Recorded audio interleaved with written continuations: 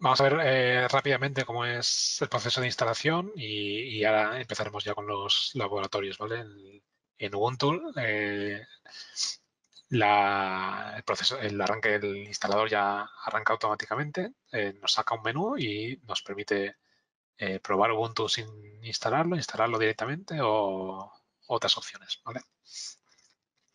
En Red Hat automáticamente pues arranca el, el menú y, y sí que nos permite solo instalarlo, no nos permite probarlo, como en el caso de, Ubuntu. Y en, y en SUSE pues también arranca el menú automáticamente, nos permite instalar, eh, instalarlo, actualizar una versión que tengamos ya más antigua o eh, saltarnos este instalador y, arrancar desde, desde, el disco. Y este sería ya el proceso de instalación de, de un CentOS que ahora lo veremos en vivo. Nos pediría la sección de, idioma. Esto vendría a ser los módulos que hemos comentado antes. La configuración regional, la configuración de red, configuración de disco particionado y la selección de, software.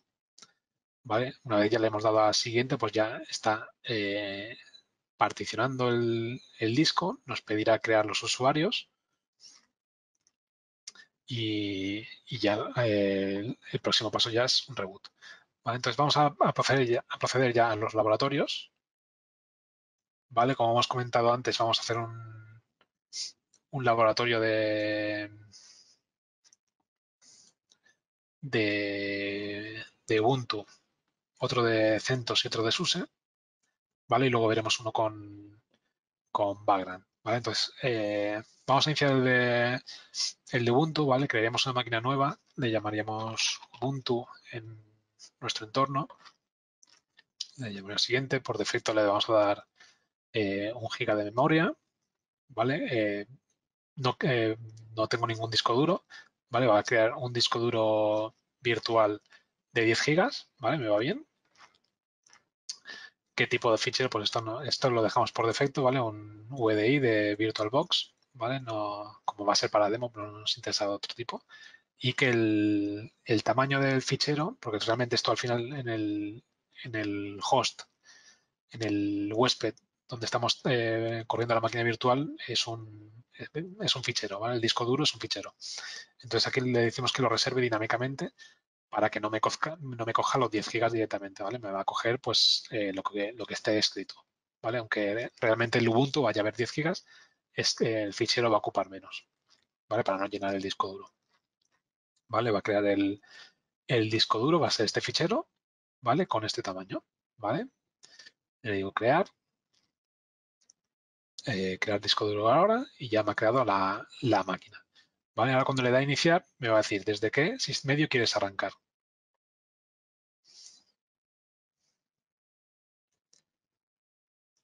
segundo que se me ha movido de ventana, de monitor. ¿Vale? Me va a decir, eh, selecciona el disco de inicio pues yo me voy aquí a mis, a mis discos, le voy a añadir y tengo aquí la Ubuntu Desktop, la 11, la 18, perdón. La 1804, seleccionar, ¿vale? Y inicio. Y ya en otra ventanita me arranca, ¿vale?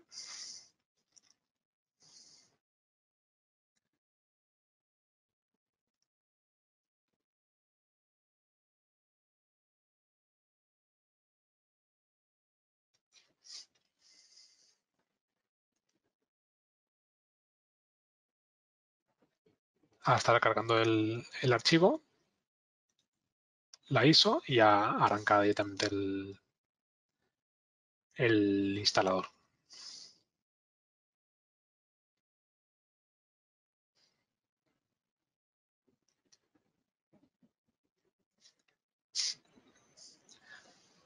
Tardará un, minutito o así mientras va cargando. Esto dependerá mucho pues, de la máquina en la que estemos ejecutando la máquina virtual y, desde, de los recursos que le hayamos asignados.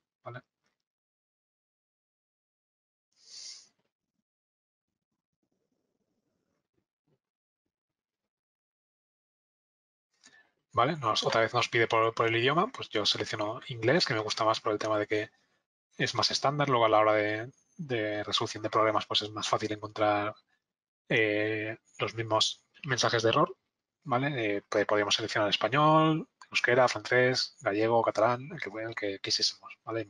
Infinidad de, de idiomas, ¿vale? Continuamos.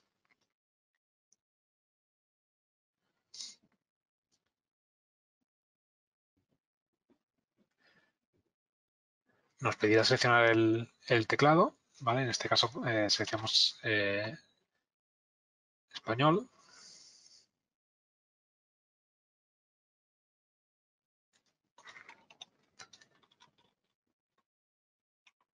Español de España, ¿vale? En, aquí en este cuadradito podemos probar que las teclas las, las, teclas que suelen cambiar entre los diferentes teclados pues eh, concuerdan con nuestro teclado, ¿vale? Para, para evitar problemas luego a la hora de meter, por ejemplo, contraseñas o para escribir directamente, ¿vale?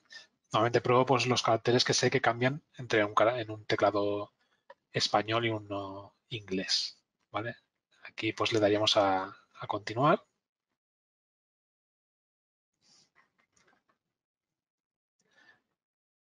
Ahora ya me pediría pues qué tipo de instalación quiero hacer, pues una instalación normal, donde me instalará el navegador, eh, varias utilidades, software de oficina, juegos y temas de multimedia. O le podemos decir, seleccionar una versión, una instalación mínima donde solo instalaríamos el, navega, el navegador y, y, algo muy básico, ¿vale? Pero bueno, de momento me interesa una instalación normal.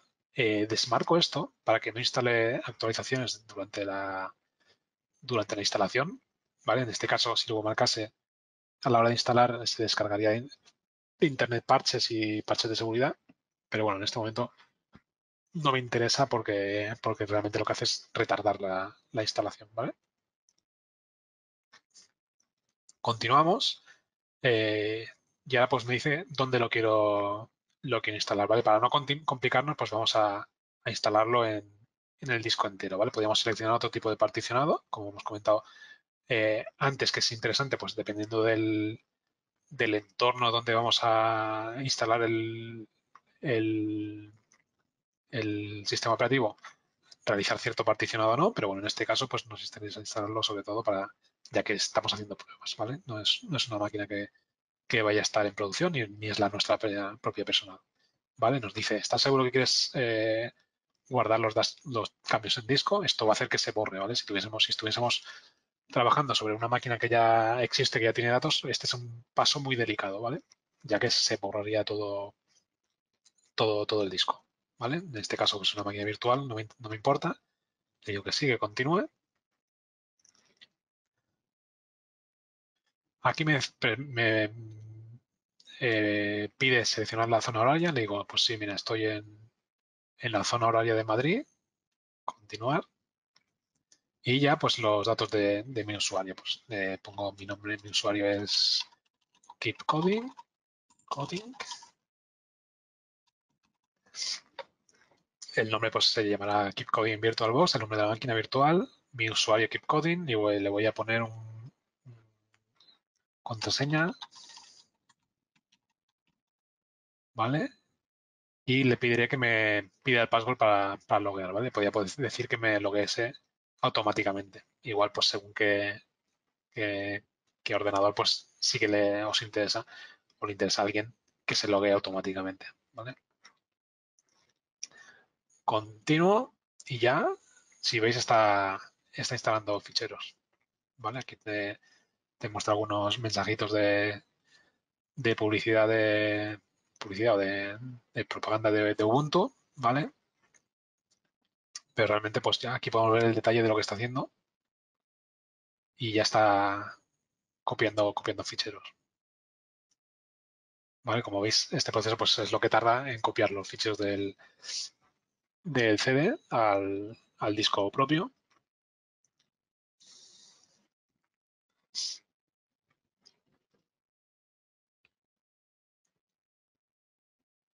Es bastante rápido.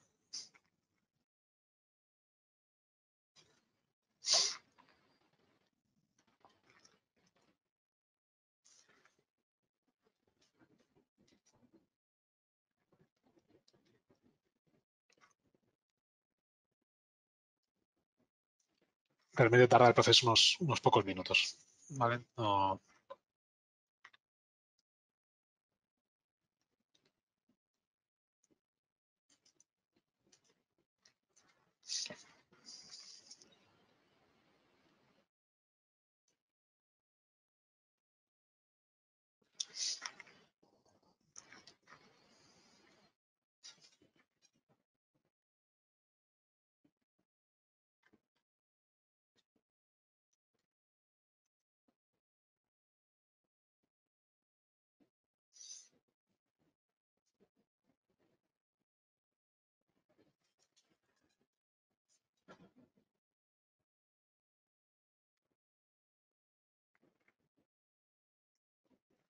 Ahora, una vez que ha copiado los ficheros, pues está, eh, pasa a instalarlo el sistema, ¿vale? A, eh, realmente ha copiado los paquetes en comprimidos, digamos, y ahora los está descomprimiendo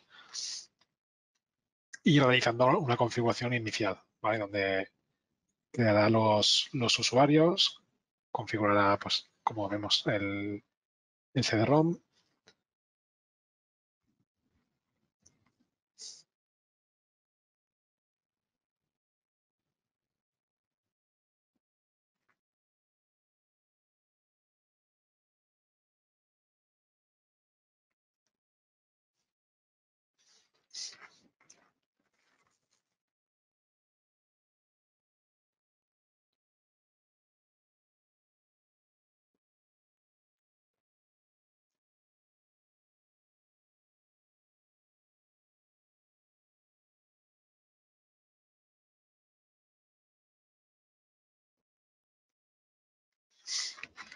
Ahora se está descargando algo de, de Internet desde los repositorios oficiales.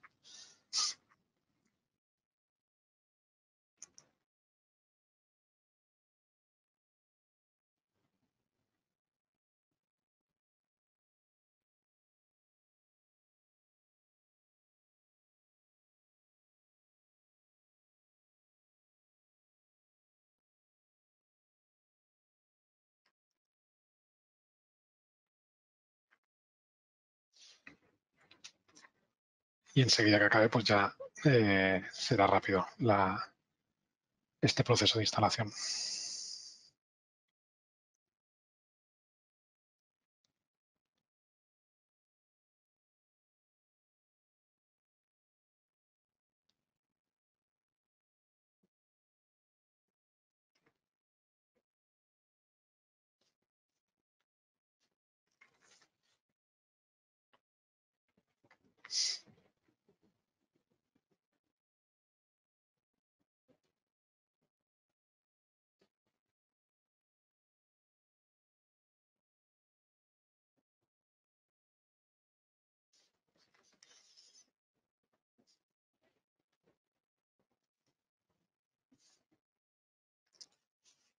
Como vemos, ahora está configurando el keyboard, la zona horaria, los usuarios.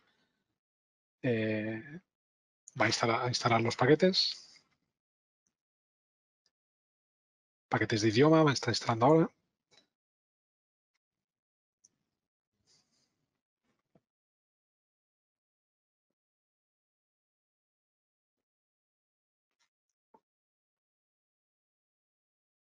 Y ahora sí que ya está instalando todo el resto de, de paquetes. El cliente de correo.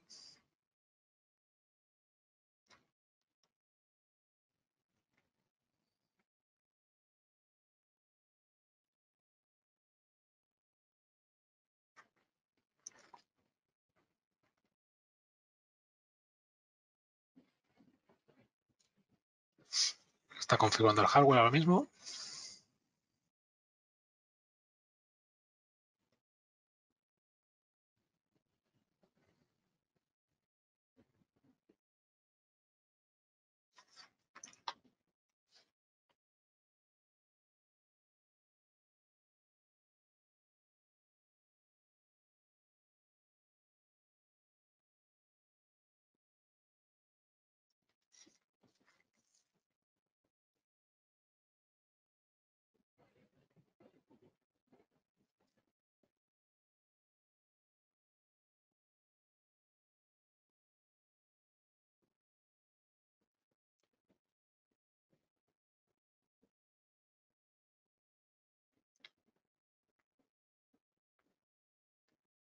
Y ahora mismo está instalando el bootloader, ¿vale? Para que a la hora de reiniciar ya nos permita arrancar del sistema operativo correctamente.